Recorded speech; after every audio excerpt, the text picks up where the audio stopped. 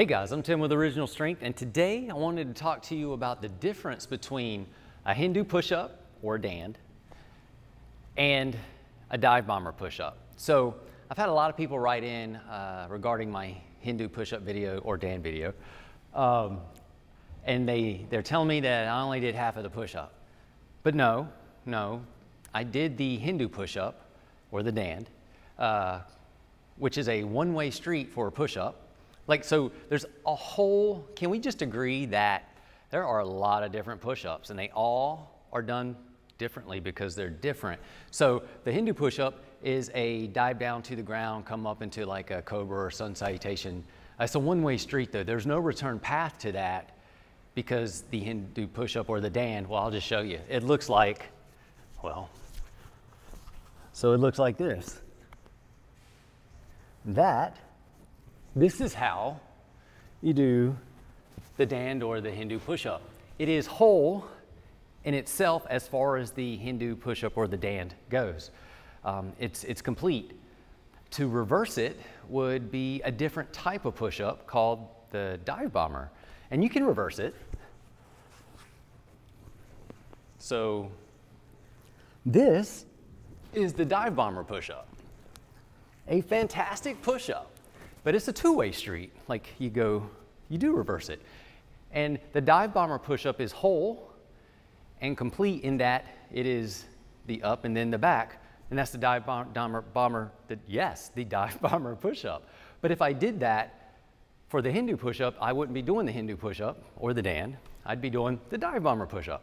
So as you can see, they're actually two different push-ups. So again, from the side, the Hindu push-up or the DAND is here. So down dog to cobra or sun salutation, and then you just push back to down dog.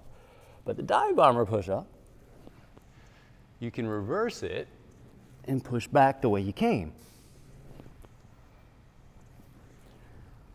So two totally different push-ups.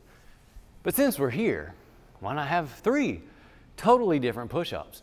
I don't really have a name for this one other than the reverse Hindu push-up or DAND. I don't know. But we could go here, roll down, push back. And this is also awesome in its own right.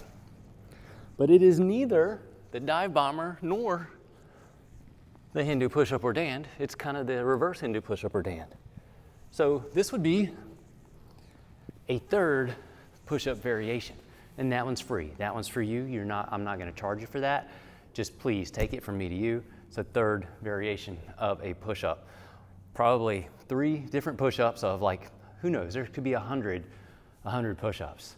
Um, anyway, that's the difference between a Hindu push-up or DAND and dive bomber push-up. I hope that helps. If you've never done any of those, or, or if you want to do three really cool push-ups, try those three push-ups out. Uh, they're fantastic for building uh, shoulder mobility and strength, uh, chest strength, tricep strength, uh, hip mobility. They're just good. They feel good. They can be great elixirs, shots of movement to uh, help you feel good throughout your day. Anyway, give that a shot. I'm Tim with Original Strength, and we'll see you next time. To learn more, consider attending an Original Strength certification. Visit originalstrength.net for more information.